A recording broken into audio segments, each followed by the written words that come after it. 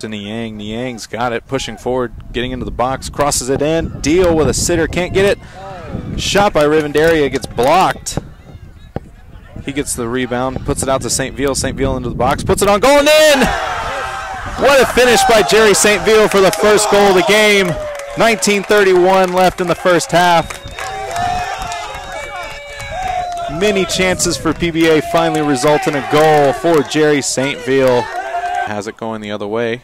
Into the box. Shot put on, but Barker will save it. and Cleared away by Jerry St. Veal. That is it. The final score here at the Rinker Athletic Campus. Palm Beach Atlantic Sailfish, one goal from Jerry St. Veal in the first half, and the University of Tampa Spartans finished with one goal as well.